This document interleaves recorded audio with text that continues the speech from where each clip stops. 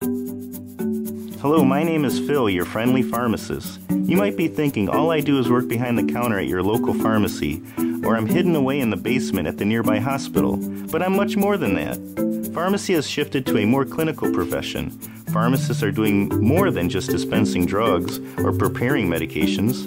In the hospital, pharmacists are part of a multidisciplinary team, working with your doctor, residents, nurses, and other healthcare associates to ensure best possible outcomes. Often during team rounds, pharmacy provides valuable input in patient care.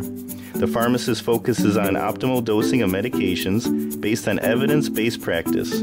Some items include anticoagulants, pain management dosing, reviewing laboratory values, and changing medication doses as necessary.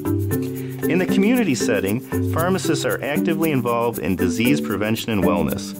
Many pharmacies now offer immunizations administered by the pharmacist, as well as an extensive medication consulting and even point of care testing, including blood sugar, blood pressure, and cholesterol monitoring, and influenza and strep culture testing. The pharmacists are a valuable part of the healthcare team, working towards many public healthcare initiatives focusing on optimal therapy management while providing continuity of care for each patient and family member. Pharmacists make a difference.